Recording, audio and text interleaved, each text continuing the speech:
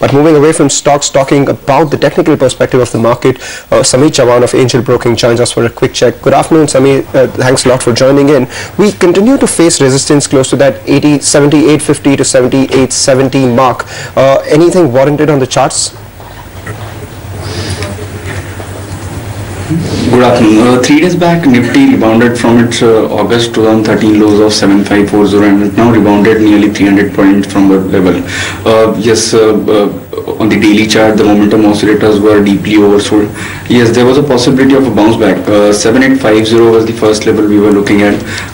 in the morning, Nifty has tested that level, but it is important for Nifty to sustain above that level. In case if we get early closing beyond 7850, there is a possibility of uh, extended move towards 7920, 7950. But uh, we won't aggressively participate uh, in this up move. We would rather wait for higher levels to go short directionally. meanwhile, stock specific actions are likely to continue. We would rather focus on stocks for smaller moves. Hi Sameet, you're recommending a sell call on United Phosphorus. What could be the potential downside? See, in last uh, three days, uh, the overall broader market uh, rebounded from lower levels. Uh, uh, during that particular uh, time, UPL corrected from its higher levels of 532, 534. That clearly indicates its weakness.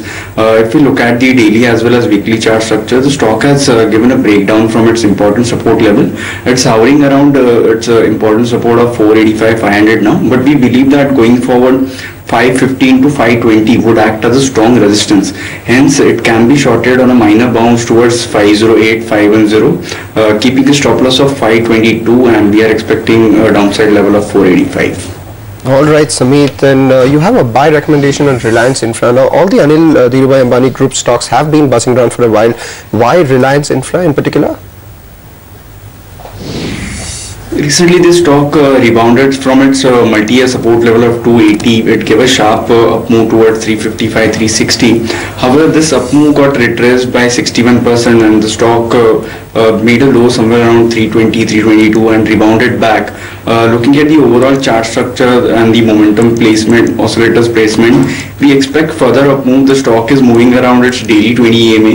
We expect it to happen on a closing basis as well. Thus, looking at the risk to reward ratio also also it is quite attractive hence uh, we are advising it to buy for a target of 370 375 over the next few trading sessions and stop loss can be fixed at uh, 332 Okay, Sameet, we'll leave it at that. Thanks so much um, for joining in. His disclosures, as you can see on your screen. Uh, let's move on now to the big exclusive. CNBC TV 18 continues to bring you the best and the biggest from around the globe.